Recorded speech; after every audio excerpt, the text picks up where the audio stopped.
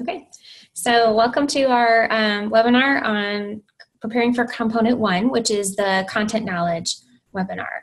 We don't anticipate that this will take the full two hours that we had um, scheduled for that, but um, just wanted to welcome you all for coming. Thank you for coming. And if you're listening to the recording, I hope you find this information useful. A little bit of information. We've already talked about how to um, mute yourself and to unmute. Um, make sure you guys have obviously found the chat box. But um, if you wanted to chat with anyone directly and didn't want the whole group to see that, you can select that choice when you um, where it says to everyone, you can um, click on that caret and just choose individual people if you want. If you're having any problems navigating Zoom, don't hesitate to just reach out either. Holly? All right, well, my name is Holly Bloodworth. I'm an early childhood generalist, and I am the president of the Kentucky National Board Certified Teacher Network. Something we would love for you all to join now. You're eligible to join now, or for sure when you get certified, we want you in that network. I am a teacher at Murray Elementary School in far western Kentucky. I, uh, I teach literacy and drama uh, in an elementary setting, K through three. And my name is Suzanne Farmer, and I'm also an early childhood generalist.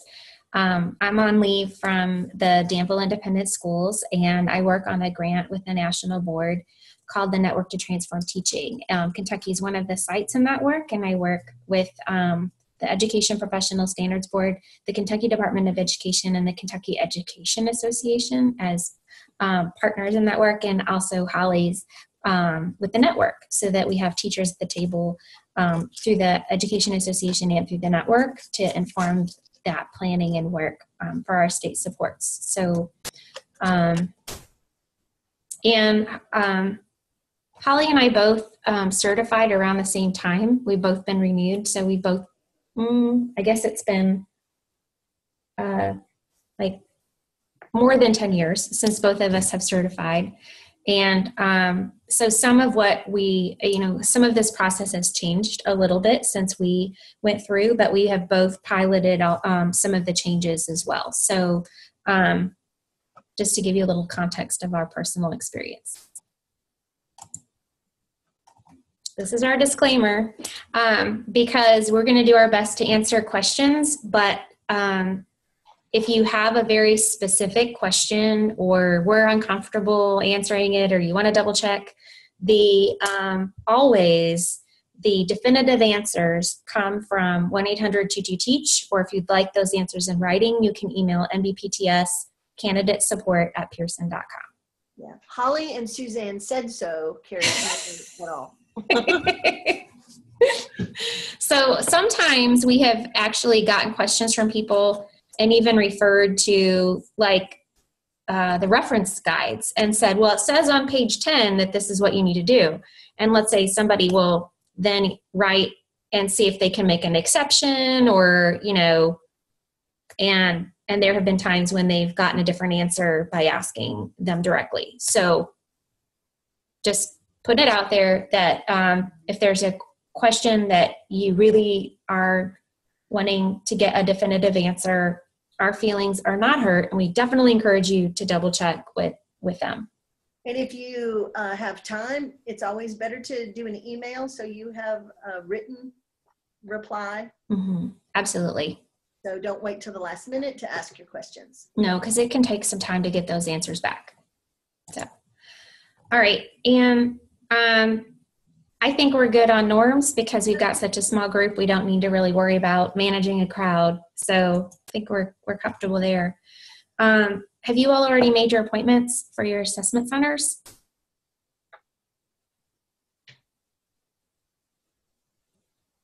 May 20th. All right. Okay, coming and up. June 2nd. Okay.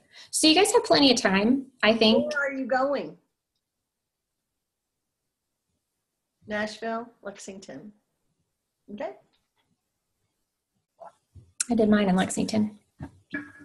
I went to Nashville.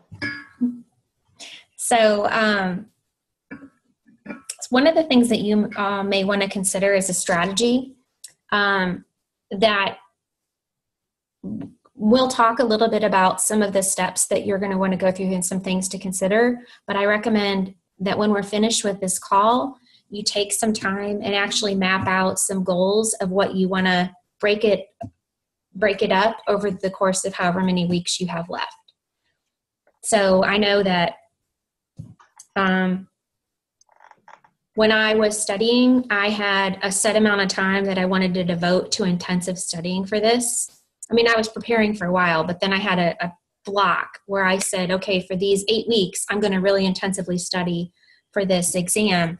And um, and I blocked it out based on where I felt like I needed to spend more time than others, prioritizing what I felt more prepared for. And that way I knew that this is the week that I'm really going to be thinking about this topic and this is what I'm going to do. And it really helped me to to manage my time and my studying a little bit. So you may want to consider that strategy. You'll have enough time to divide up some of that work over then And before your test. Is literacy. Sam, what is your certificate area? Was that library media? Or was that Britt? Brittany Yeah. was literacy. Was Sam? Yeah? Sam's library media. Oh, okay, okay, I didn't see it. Okay, awesome. So, um, where would you say you all are right now in um, preparing for your assessment center? Like gathering information, getting started, planning for the assessment, um, practicing, actually writing prompts.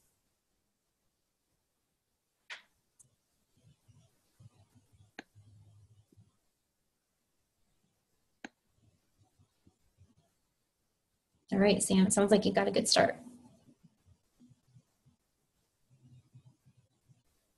Okay, All right, great. so you guys are both already getting there. Have you, either one of you used the platform yet?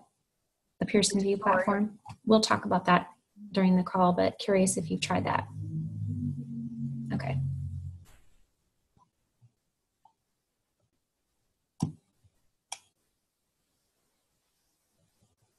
Hmm. Was you, were, were you on a Mac or a PC, Brittany? Okay. Hmm. Were you at school?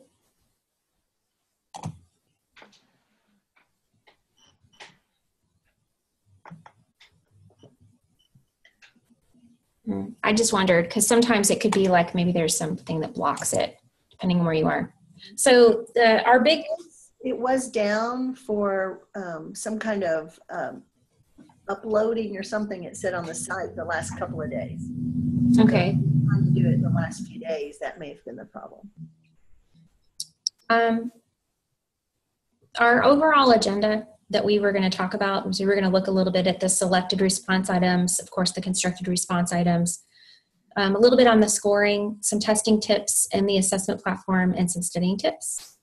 Um, if you have things that are not on that list that we you find that we're not covering or or that you want to add, we can do that too. So just let us know. Um, the big idea of this assessment is really making sure it's core proposition two um, that teachers know the subjects they teach and how to teach those subjects to students. If you all haven't already seen it, National Board has added a resource on their website that's an updated explication of the five core propositions. It's a really nice resource and it's free. It's in a PDF version um, and it's the what teachers should know and be able to do. Um, one of the so in the core prop 2 section it starts with this whole idea that if one cardinal principle of teaching is a commitment to the welfare and education of young people another is a commitment to subject matter. Um, and we're going to talk about how much how this is reflected in the weighting but that this is a is huge idea. Um, one of the things that really strikes me when i look through this explanation of core prop 2 is that how much you can't do that's important with the how we teach it to kids if you don't have a firm grip of the content. So um, it says you know that you really you it requires that it's not just that you have a surface level understanding of your content like reciting dates or memorizing multiplication but that it requires that you have a substantive knowledge by exploring the domains and being able to make connections for kids to become fully engaged in the learning process. So, connections between subject matter so that you can really teach interdisciplinary, connections to things that students are really curious about and it's important to them by making the content relevant. So, this um, assessment center is the way that one of the ways that national board is ensuring that you really have content knowledge at the depth that's required to be an accomplished teacher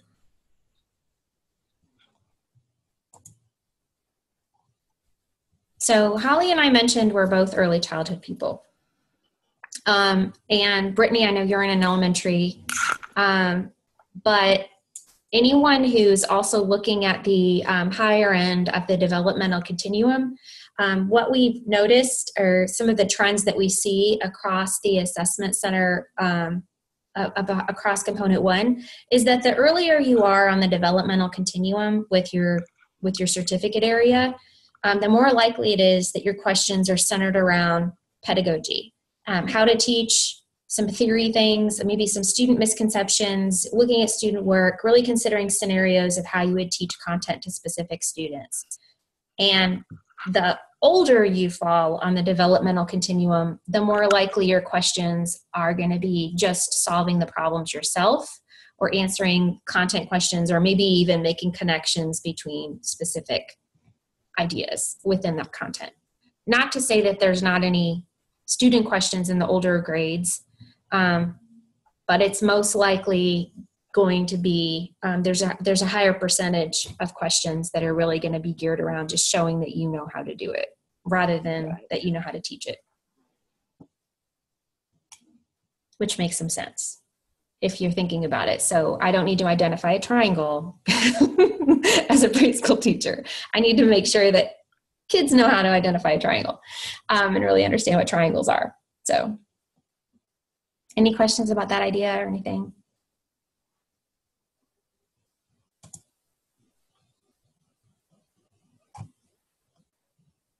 All right, and we don't have anybody on the call right now that falls under one of these specialty areas, but just to flag this in case anybody's um, listening later, um, that there are some specialty areas that will impact your um, component one assessment. And and those are listed here. So cte english as a new language exceptional needs specialists and science. And um, holly and i also felt that it would be important to also point out world languages because they you choose french or spanish but that might be addressed more on the um,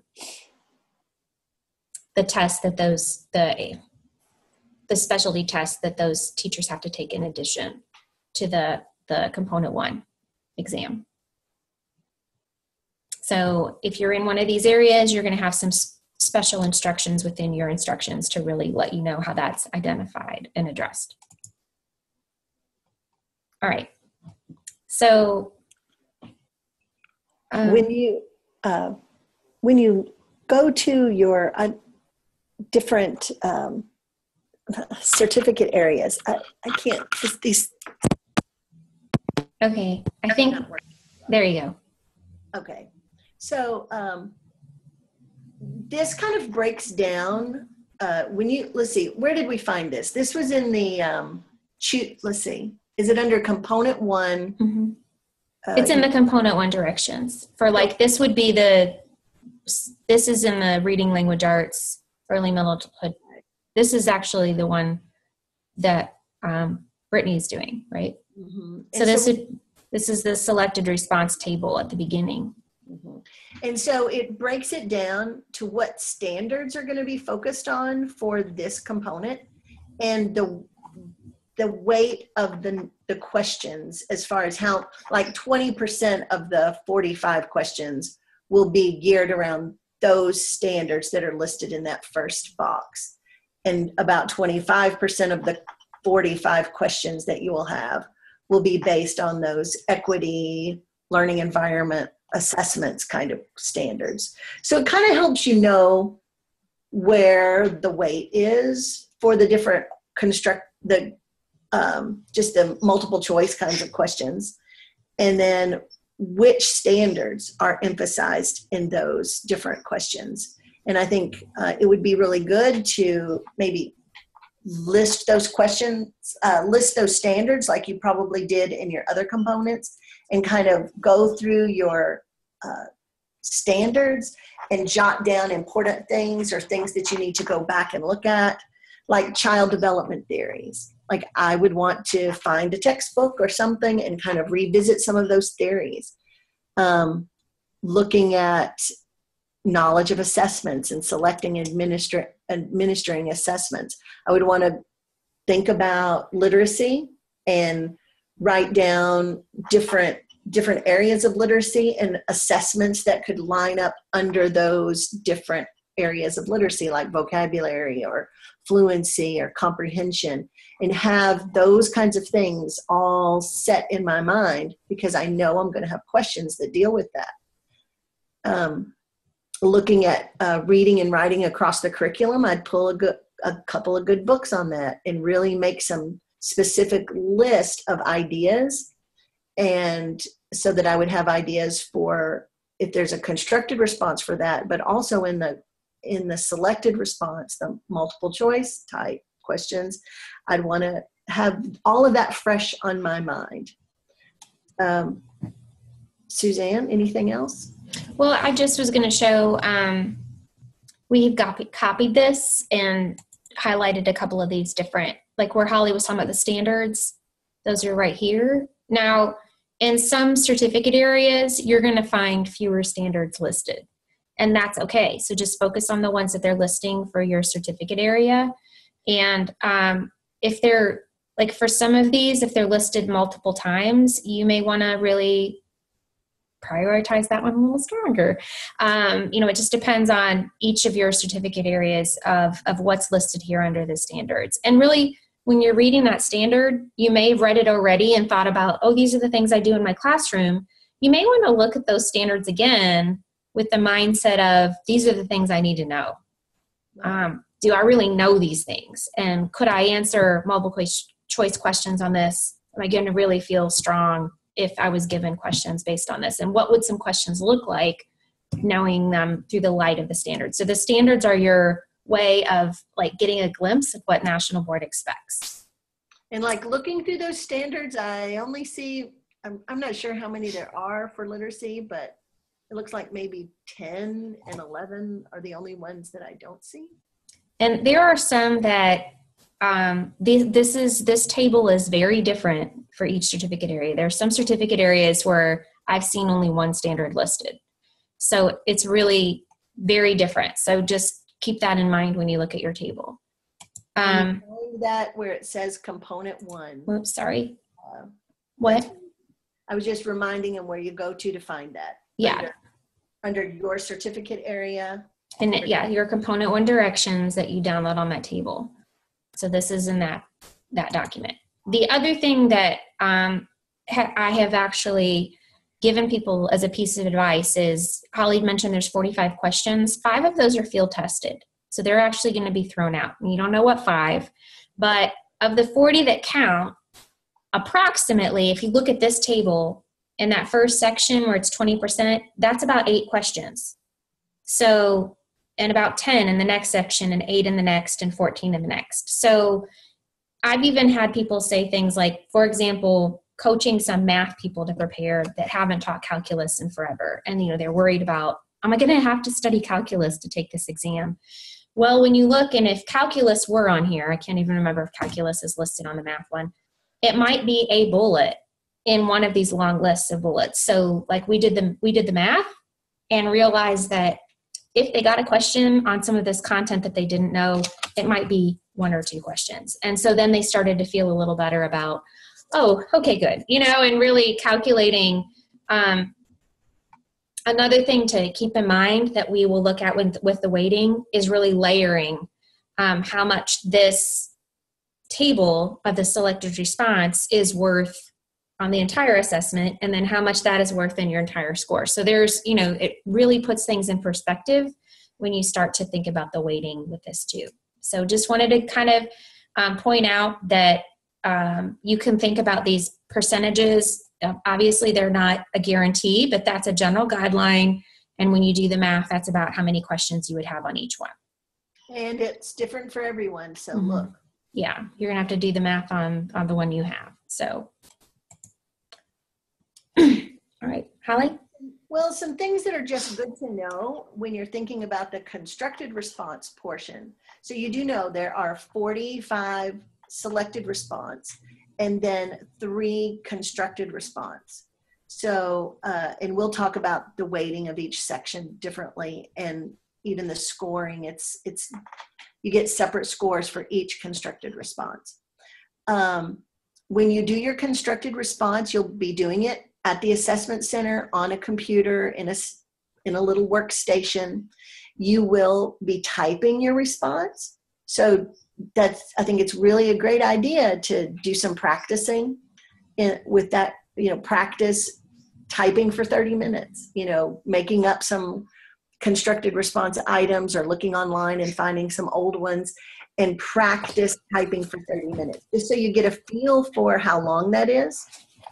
Uh, you also need to know in math and music, you have a little response booklet where you're doing some things in a response booklet. So I, that doesn't apply to either of you, but if someone's watching uh, later, you might want to, to know that. Also, they're not really scoring it for spelling and grammar. So don't get too freaked out about that. And you can use bullets. You probably want to use bullets for some parts of it. And then, of course, if you have time, you can go back and, and make complete sentences, but get the information down first. You have a lot to do in 30 minutes. There are multiple prompts for each of the constructed response items. So some some people recommend going through and reading all of the different parts of the question before you start. That's just, I guess, depends on how different people work, but you want to make sure that you get to all of the the different uh, prompts. So don't finish one and think, oh, oh well, I got that done. That was fast in 30 minutes, because there's probably about six more. So the computer will let you go on and look at all of them and go back to different ones. But at 30 minutes, the screen goes blank. So even though you have a certain amount of time for all three of the constructed response, you do not get to divvy it up however you want. You get 30 minutes for each of them. So it will just go blank when 30 minutes is over, and that sounds really scary and creepy, but that's what happens. So you'll also have, um, it'll tell you at the top like one of three prompts or that kind of thing. And it also has a clock. So, you know, you can watch your time and not get, you know, bogged down too much, you know, and, and waste too much time if you need to get to some other prompts of that question and go back. So you really do need to practice Yeah. the Pearson VUE uh, tutorial things because you don't want the format to mess you up. If you know the content, you want to be able to show it. So don't let that format mess you up. Practice so you know what to expect.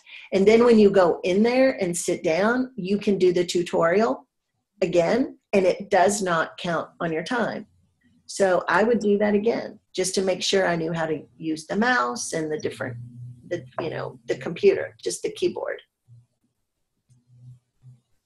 Any questions or anything so far?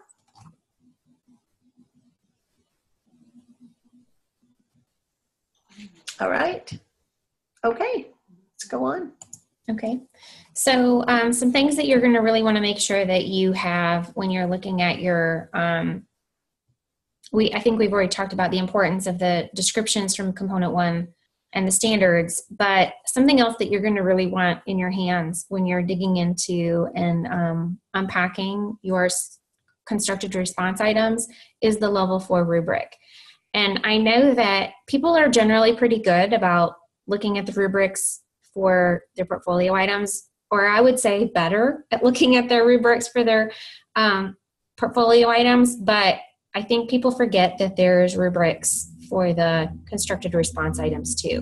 And th- um, the thing that's tricky is that it's hard for us. So we're going to go through some examples because those rubrics are different for every single prompt for every single certificate area. They're very specific, so you'll have to look at your own to really um, see how that looks for your own certificate area.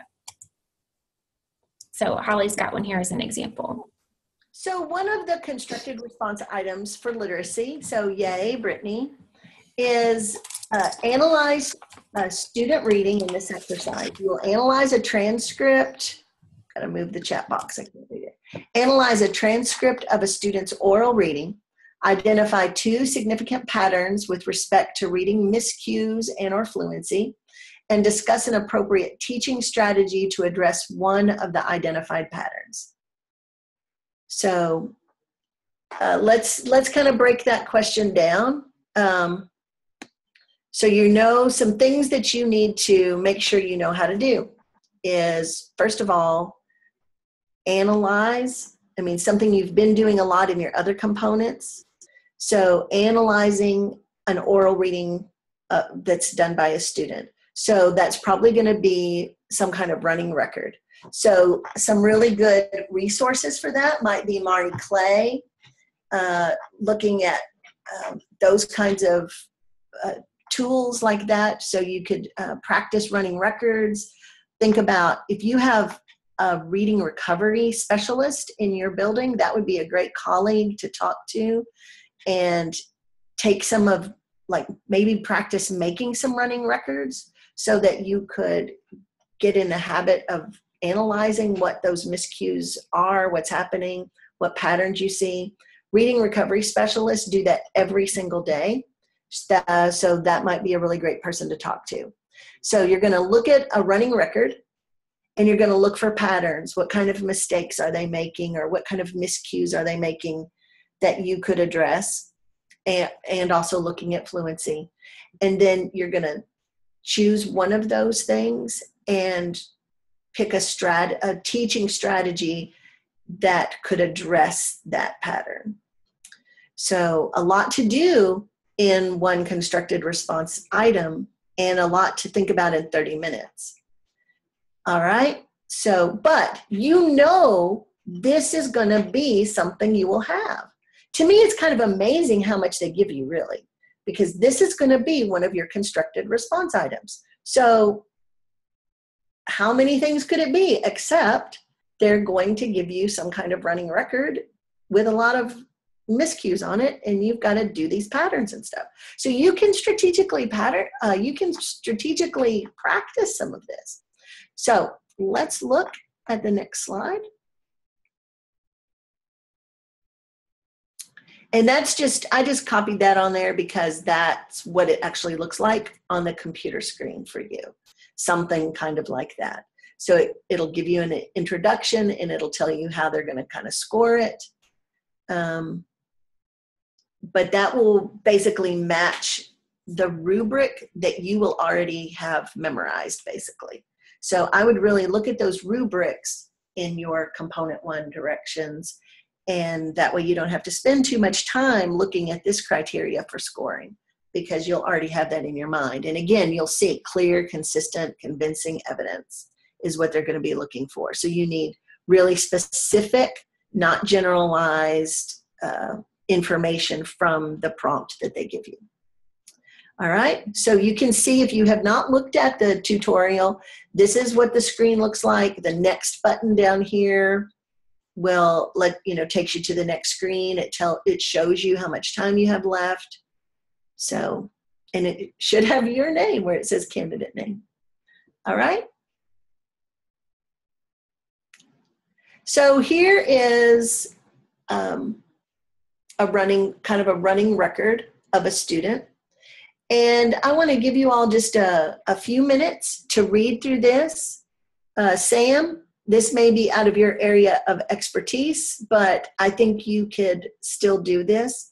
Uh, the key is down at the bottom that tells you what kind of mistakes they were making. So, just in the chat box, since you really can't uh, grab the mic today, if you want to list some of the the patterns, what patterns do you see for some of these miscues?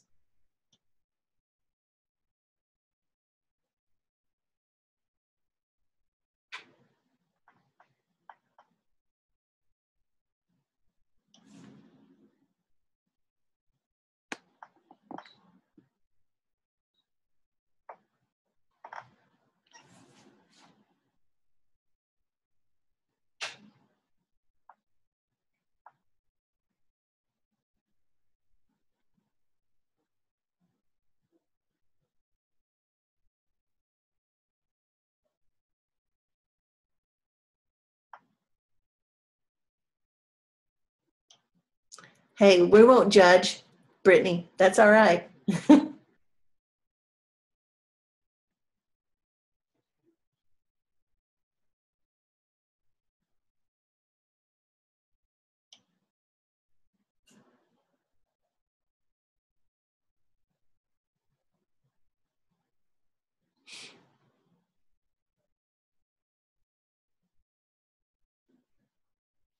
So self correction would be a strength for sure. So the pauses that they're making, um, where do you see those pauses? Why do you think they're making the pauses where they make pauses?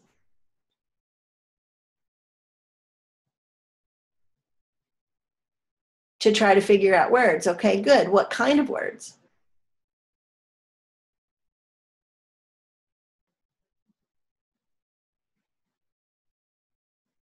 Yeah, looking at when, so to me, what this child, um, they have a pretty good grasp on, on like high frequency words.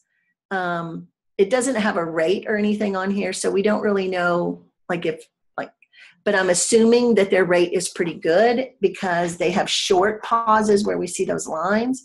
So often between um, in two syllable or more words. So multisyllabic words seems to be an area where they are having some issues. So I think that's definitely a pattern we see. Some strengths that we see are their sight words are they are making some self corrections which is great you really want to capitalize on a student that is making self corrections because it means they're actually thinking about what they're reading and they're able to note that something doesn't sound right so when that child says filed honeybees they realize oh wait what's a filed honeybee that doesn't make any sense so they're going back to say to change it to field. They're, they see that there's two vowels there. So they probably have heard that when there's two vowels, you know, usually it's going to make one of those vowel sounds. So there are a lot of good things that this child is doing. The, I would say, the thing that I would capitalize on would to to move this child forward would be looking at uh, multisyllabic words so they are kind of breaking them up fairly well into syllables. It looks like, like honeybees. I mean, they got it right. So I think um, what kind of strategies might we do to work on words with more than one syllable?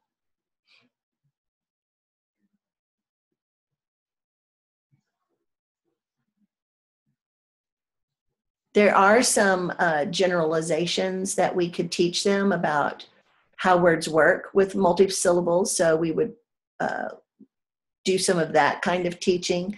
We might look at um, how to break words up into syllables, and there, you know, you could um, do a strategy where you circle prefixes or circle suffixes and look for roots. You could um, like they the like deposit they're always like the the the vowel sounds. We might want to teach them i mean some vocabulary instruction would be probably good because they're not recognizing that that's not a word when he says depose it. The house bees depose it. So we could do some vocabulary instruction also. But those are the kinds of things that you need to do when you're looking at your practice sam you know the sample things that you have so get other get a team of teachers together and like how like what are some different ways that you could teach uh, multisyllable words? You know like and look up those kinds of things. So i would take something like this if i were practicing myself. I would take this and i would list all the strengths. And it's really always good to think in terms of how could I take those strengths to then work on the weaker areas. And so then I would think of what would be the next thing that this child might need to, to work on. And we could talk about multisyllable words. And then look up like get some good um, like isabel beck or some of the well-known names in vocabulary instruction and and then you could really get some strategies for teaching multisyllabic words so that's the kind of thing i would do to prepare for this question also uh, get with reading recovery teachers because they do this every day all right. So, Brittany, sorry that you've got to go. Is that what that says? And um, no, she. I don't think she has to go. She was just saying she doesn't feel very okay. strong at this, but that's okay. That's why we're studying. Yeah, yeah. So the next example is far away from my expertise or Holly's. We just wanted to kind of walk through one that um, to really show the difference or what could be the difference in. Um, an, oh, sorry, Oh, I'm sorry. I forgot the rubric. The level four rubric, uh, it's pretty much what that opening slide said. There, you're going to uh, analyze uh, for patterns and with respect to the reading miscues, and then um, an appropriate teaching strategy to identify one of those patterns, and then an explanation of how that strategy will promote reading development is detailed and sensible. So, um, so you can't just like one of the things that's helpful for me on this rubric is it's not just saying this is a pattern and you know not just to identify two patterns but then to actually cite evidence from the transcript so that you're really like if you right so you wouldn't be able to get a level 4 without then connecting your evidence to the transcript to really justify even if you chose one that they thought was the right answer this is also saying you have to include examples in the transcript to get a level four. It's exactly what we teach our kids to do with these constructed response how you have to cite evidence from the passage. Mm-hmm. you know, we preach that at school for our kids on these tests that they're going to be doing and that's what we have to do too. Right and from the text and then you have to say why you would use that strategy, whatever strategy you decide to to kind of promote for their next step, then you need to explain how that strategy is going to help them with their reading development. So you have to think about how that strategy fits into their like long-term development of reading. All right. So this next example I intentionally chose something I know virtually nothing about. and, and, I don't think Holly does either. And it doesn't sound like we chose Brittany and Sam's expertise here either. But um, just to give you an example of how we can analyze these things, just to get a sense of how you would unpack a prompt. So um, we wanted to choose one that was a little more content based and less pedagogy. So obviously you have to know your reading content to be able to teach people reading, but that wasn't the teacher demonstrating their own reading ability. That's the teacher analyzing student reading ability. So um, we chose, uh, I chose this prompt from social studies, uh, from high school social studies. And this is to um, look at regional economic and geographic trends.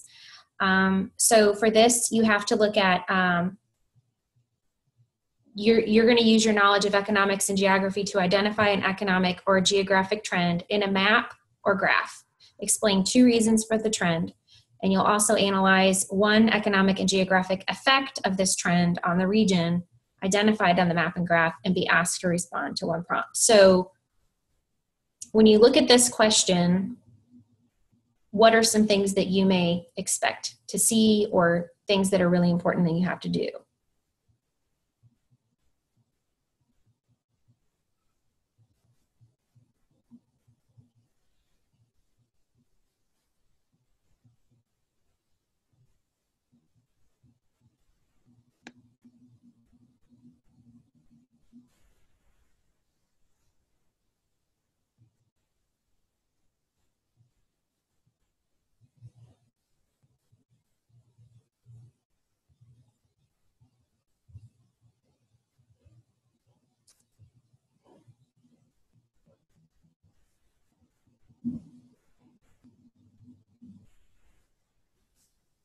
So I know I know just from the words in here that it's going to either be a map or a graph. So um, they're not going to ask me to read anything or um, it's that that my prompt is going to be a map or a graph no matter what. That they're not going to throw me any surprises.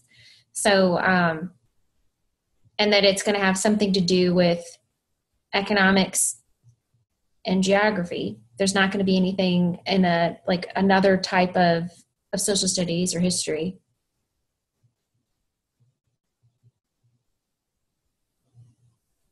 And there's a few things I'm going to have to do, which will be outlined in the rubric too, but that I have to explain, I have to find a trend, explain two reasons why that could be a trend.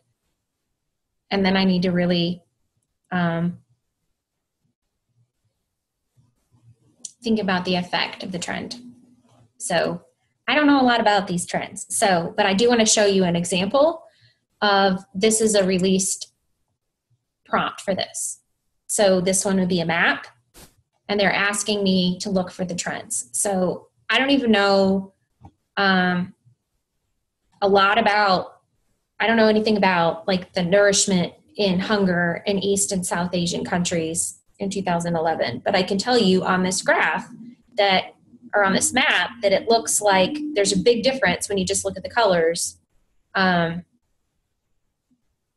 for South Korea and Japan, that very few people are hungry when you compare that to the rest of East and South um, and Southern Asia. So that would be one trend that I could look at. And then I would be asked to say why I think that that's a trend. And then the effect that that's had on the region. So I am not even going to pretend to know this content, but this would be um, an example of how you would analyze this prompt. The rubric for this one is that I have to say two reasons for the train, trend that is detailed and substantive. Um, and I would imagine that you'd have to show your expertise of what was going on in South Korea and in Japan that has led to less hunger, uh, economic trends. Um, you're also going to have to have an economic effect of the trend, um, and then a geographic effect of that. Okay, so um, this is not at all about what would how would you teach this to students this is do you understand this idea of why there's um, why the map looks like this and what that means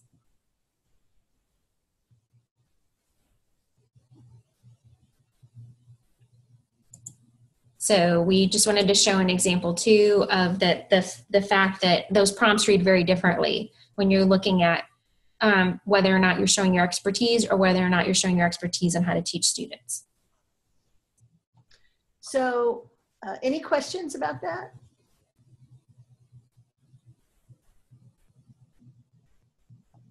All right. Well, uh, looking like just did the next slide here, talking about time and how much time you have for the different parts of the assessment center exercises.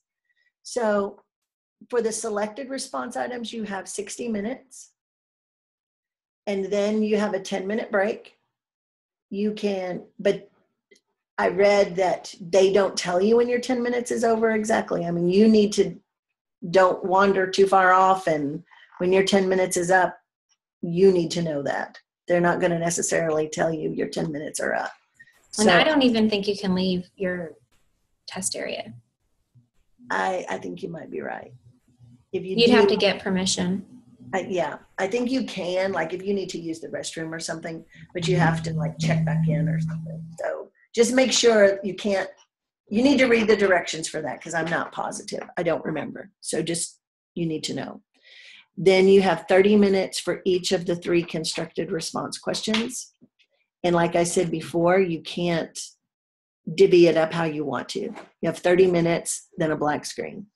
So uh, you at least will get to all of all of them because they will make sure that that you do.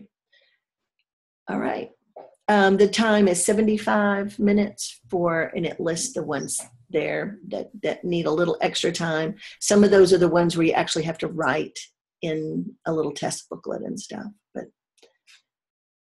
one of the things um, that is uh, a strategy that I don't know that we've mentioned later that I um, that I think I know that it can be scary for people to think that I have 30 minutes and then my screen changes and there's not, you know, like I don't if I didn't feel good about that prompt, I kind of now my screen's changed and now what, right?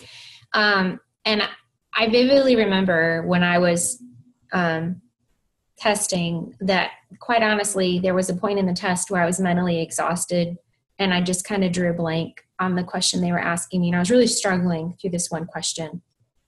Just was really having a hard time with it. And um, there was something about the fact that I was panicking about, oh my gosh, I'm running out of time. But then at the same time, when I ran out of time and the screen changed, I thought, oh my goodness, I get to start over. Like now this is a new question. This one scored completely differently. And I can bring myself back. And when I got my scores back later, I did my I didn't do real well on the one I felt like I was struggling through, you know? But then the next question, I did awesome. And so you're going to have to really mentally make sure that you can bring yourself back in in that situation if if you do find that you're struggling. Like use that as an opportunity to think you could start again if you if you really thought one question was hard. Instead of thinking of it as oh no, the screen's going to change. Like it could be a great, I get to do a new question. All right. Well, on that testing day, be sure that you get there early. Um, you just want to make sure that you have plenty of time to get checked in and everything. So, things that I've read suggest arriving 30 minutes early. You might want to dress in layers. They will not let you wear a coat in there, but you can wear a sweater, that kind of thing.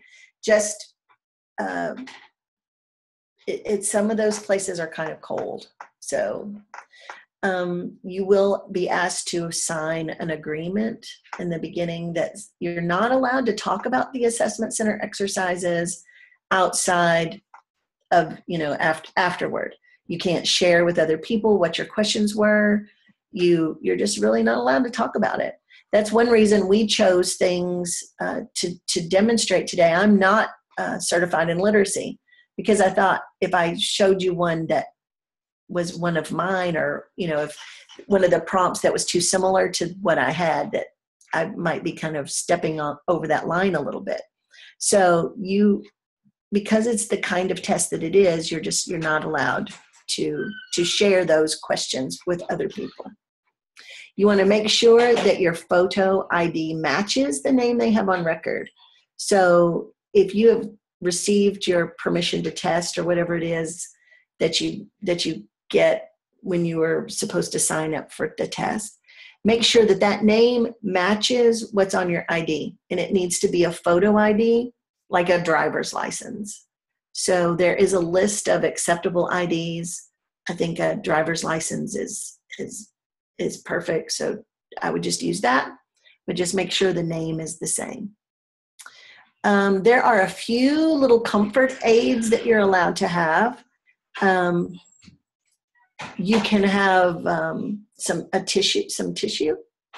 You can have uh, i think a cough drop or something like that.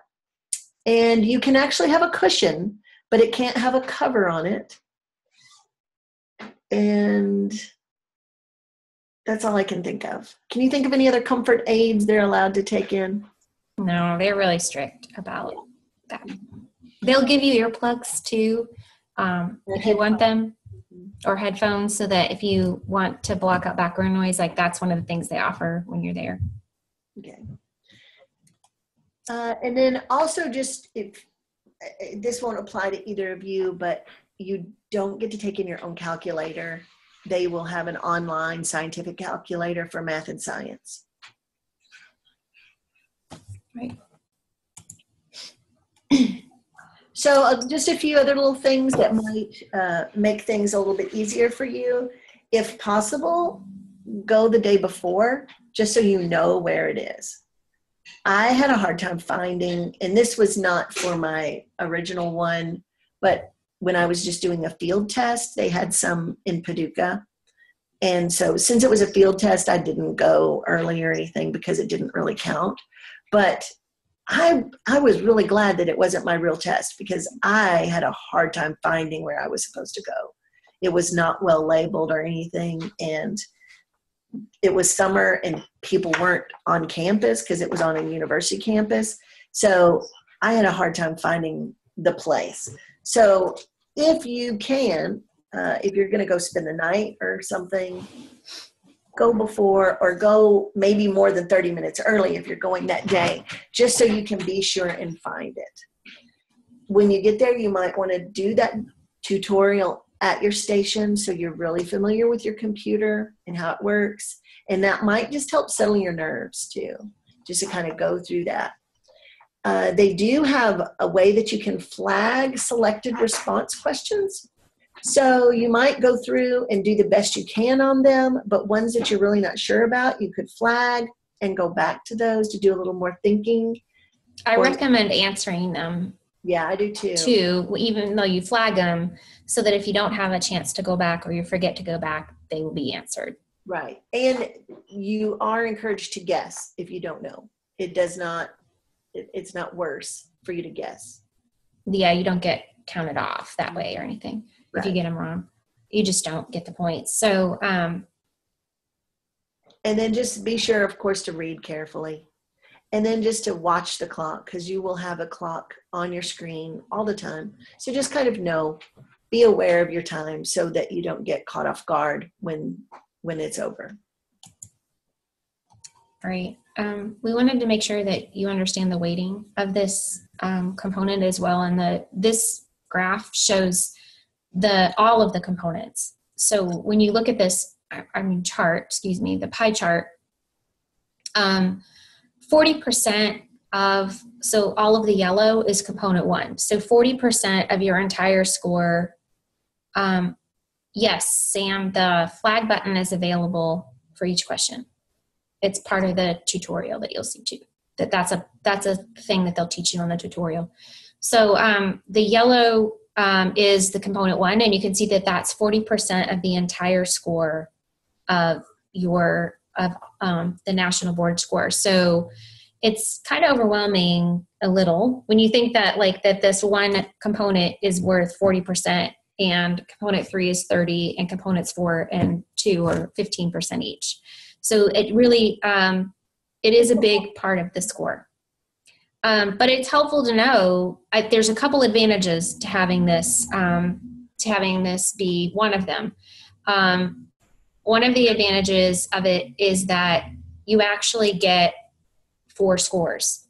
So um, you'll get a score for your selected response, which is half of the total score of component two. Um, excuse me, component one. So that's 20% of your overall score, but half of your component one score is just the multiple choice. And then the other half is divided evenly between those constructed response items and you'll get a score on each one. So the good thing is is you'll get an overall score and then you'll get a score for each one. And if you decide like I did really poorly on the multiple choice, you can just redo the multiple choice if you end up having to retake anything in the long run. And um, you do have to have a score of at least a 1.75 on your component one um, as a whole in order to not have to redo anything. That doesn't mean that you've passed component one or that you're going to certify. Um, that just means that you don't have to redo anything in component one. Um, you might still have to redo something if you don't hit your overall passing score once you look at all of your components. But um, the floor score is just to ensure that people are a balance of content knowledge and um, being able to teach students. So um, they wanted to ensure with with the um, new release of National Board with 3.0 that there was this assurance that there was a balance that that there couldn't be somebody who did so well on the portfolio components and did so badly on the content knowledge that they still certified or vice versa that they they did perfect on the content test, but then really did horribly on the portfolio ass- assessments and they didn't want those people to certify. They want to make sure that you're at least a 1.75 on your entire portfolio as an average for your floor score and your entire component one as a floor score. So the good news is is you'll know that you've met your floor score when you get your component one scores back and you'll get a pretty good sense of your of your score how you're doing because this is almost i mean 40% is a large part of your it's almost half so of your um, score for all of the national board process. Um, if you decide to redo anything in like if you wanted to redo a section those costs are also prorated so you wouldn't have to pay the 475 again. It would be a, a portion of that um, since you'd just be redoing a portion if you end up redoing anything are there any questions on the weighting and scoring yes you will also get those scores when you get uh, when all of the scores are released the last two years those have been released in december um, sometimes they've been released as early as November, but um, I would expect those to come mid to late December. That's been the trend lately. Um, some people ask, you know, why don't we get those scores any sooner? Um, because it's a computer assessment, but um, the only thing that would be scored right away is the multiple choice but they they give that out as one score or one package when they give all the scores out because your um, constructed response items are scored double blind scored by NBCTs that are trained to do those um, scoring, just like in the portfolio. It takes a lot of time for that to, to get accomplished.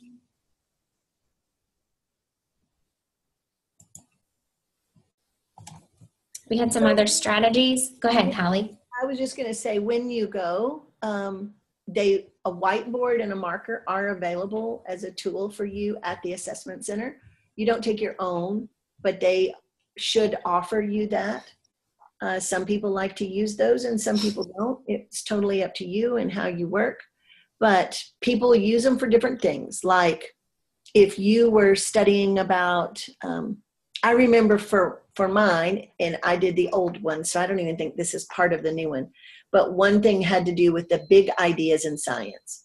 And so I created a little way to remember those big ideas in science and as soon as I got in that assessment center, I jotted that down so I didn't have to remember it anymore. So you can uh, jot down things that you want to be sure not to forget if there are certain um, i don't know standards or maybe maybe you just want to give yourself a little note about standards um, a, a comp like the don't forget to think about the um, you know the double helix about accomplished teaching. You know maybe there's just something you want to not forget to include. You could jot that down. Or if you want to make a little plan uh, for your question response but you just don't have a lot of time to do much, much mm-hmm. pre-writing. No it could be like that you have like these three big things. Like if it's you know something like what are two ways what are the weaknesses for this child or a strength or you know identify misconception and then two things you're going to do. Like you may want to write down the misconception and the two things you want to do like and just bullet them so that you don't forget mm-hmm. when you're writing that what those are. Or you could type those right into the thing if you're somebody who likes to to work more that way. Um, you can i don't know that you can start writing on it before the test starts. They will let you know that when you get to the test center.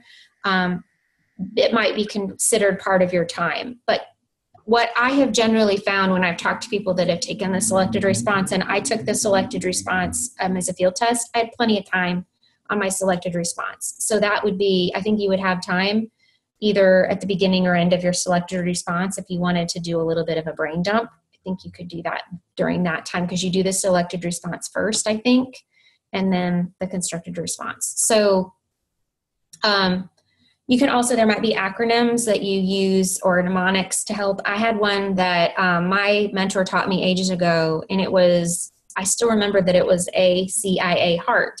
And, and that was an acronym that that had to do with things like c was for collaboration and and like h was for home and e was for equity and a was assessment. Um, and each of those were some of the big ideas that appeared in my standards and t was technology. And so we had these different um, ideas that if it was going to, because I'm um, in an early childhood area, a lot of my prompts are like, how would you teach a child this? So really thinking about is there a way to weave in technology? Is there a way to weave in collaboration? Is there a way to like how am i going to know that the child understands this? So do i need to include assessment in my answer? And obviously you're not just going to want to include things that are not a part of the prompt but it helped me to write some well-rounded answers to my prompts because I had some of those things at the front of my mind, like Holly was saying with the big ideas of, of science. No, you don't have to erase between sections. Um, some people like I have I know people that write themselves like you can do this or something. Like if there's something you need to look at, like do that. Whitney, go. Right.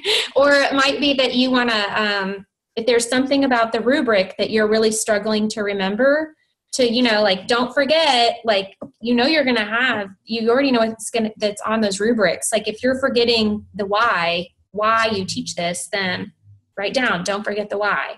Um, and if you've studied the questions you know the the little things that they give you the scenario things that they give you in advance and let's say you're doing that question on literacy and you're typing about the miscues that you see and the the identifying two you know issues that they have but then as you're doing that uh, like a strategy or something pops in your mind that you don't want to forget then you could jot it down real fast so that you have it when you go to the next part of that question. I'm pretty bad about like i think of something great and then five minutes later i can't remember it so. Well and that can be especially true when you're in a situation like that. So just use that as another um, tool at your disposal. Um, we've talked a lot about the tutorial. And the place to find where to download that platform is in the Assessment Center policy guidelines. And it's important to point out that there are a lot of other important details in there that you really need to take a look at that. Holly gleaned a lot of the information in there about the specifics from the Assessment Center. But if you have other questions, it's not going to hurt to go in there and just double check and make sure that you've really thought through everything and that you haven't overlooked any aspect of the center and that you feel prepared. Um, and that's where that link, which um, is listed in the guide, is where you go to learn more about the platform and you can actually download the tutorial. And I don't know if you all have people working with you or if you know other people that are going through the same certificate area as you are. But to me, this is one of the most powerful things you can do is meet with other people doing the same thing and just brainstorm. What could they ask? What should I study? What resources are the best? And divvy it up kind of like could you find stuff on visual literacy and you find stuff on writing and you find stuff on you know miscue analysis. So that you can divvy up some of that stuff and then bring those resources together and share. Like if you uh, you know each one become an expert on something and then share with each other you could get a lot more bang for your buck i think.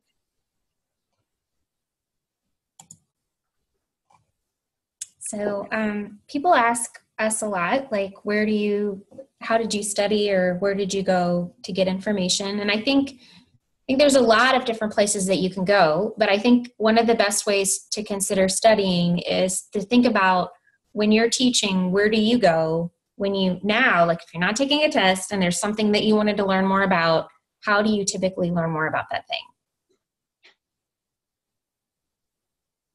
Are you somebody that likes to research, um, look at journals, or find like great teaching books? Do you like to talk to other teachers that you know?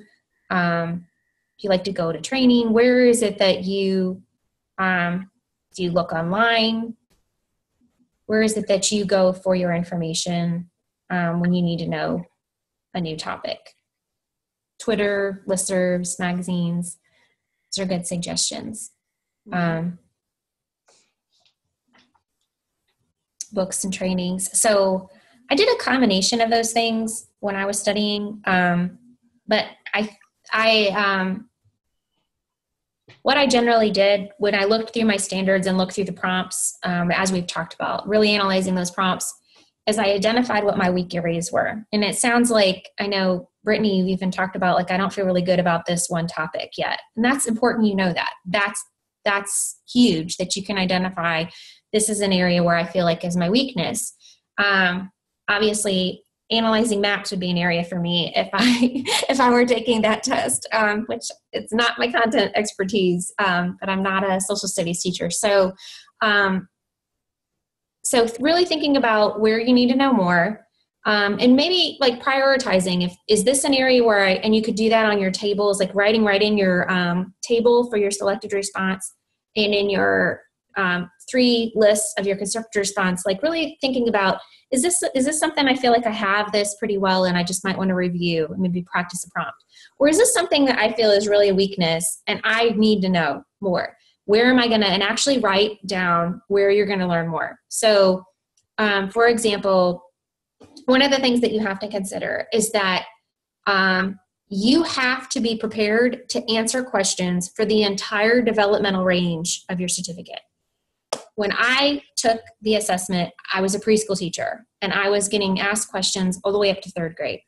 And the way my certificate works is I'm not even certified in Kentucky beyond kindergarten. So I'm only certified to teach preschool and kindergarten, but I knew that I was going to be asked questions up to third grade. So what I did was I went to the very best first grade teacher, second grade teacher, and third grade teacher I could find. And I asked them for some time and I went with a list of questions. And I knew, for example, that I was going to have a, a question that was about a topic in science and how you teach it, like a big idea in science. So I said, What are the big ideas that you teach in second grade? What are your favorite lessons for teaching those things? Another one I knew I was going to have to an- answer was like a math misconception. So I asked each one of them, what's a big math misconception or math misconceptions that you see at your grade level? And what are your favorite lessons to teach those? Um, or I would ask them, I knew that a weakness for me, Brittany, um, I can definitely relate was this idea of reading running records and really analyzing literacy. And I felt really weak in that area. So I asked a reading coach a a, uh, an elementary reading coach, I said, "What books should I be reading? Where where should I go to learn more information?" And I asked her if I could borrow her books. I did not spend any money when I was studying for the assessment center. I didn't buy anything. I borrowed books. Um, I asked some questions online and listservs for like other people, like what are some ideas of questions you think that we might get on this one? You know, really brainstorming with other people. And Holly talked about getting together with people in person if you can to study. Well, I didn't feel like I had a lot of that in person, but I found a lot of that online. So either way, like generating ideas about what are some things that might they might ask us about when they when they're asking us about this specific prompt. Um, and then really even writing some sample questions, timing yourself and really making sure that you're ready to go. But um, but the answer some people buy flashcards and study books and um, and i have heard people say that that's helpful but i don't think you have to. Um, i think you can just consider your what the style you're comfortable with too. Holly do you have other tips or did you guys have questions about that? Well i made sure i found textbooks uh, for the grade levels that i didn't teach you know especially math and science textbooks I know, like, I was early childhood generalist, and I, I, I got the health book from the third grade and the second grade because I taught first grade, and I was really lucky because it really helped. I mean, it it was like I had a third grade question about health that I didn't, I had never taught anything in that, so it was really helpful for me. Also, I think now you're lucky in the sense that the core content is so out there. You could really look across grade levels uh, through the core content and see what you know, what are kind of the expectations for the different grade levels.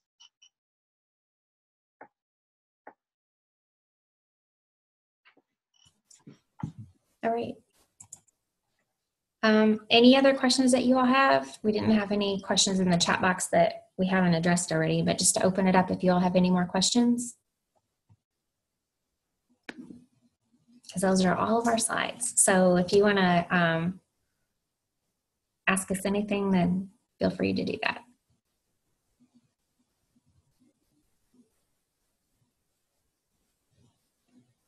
Well, good luck. Yeah. I'm going to stop recording. If I can get that to come back up.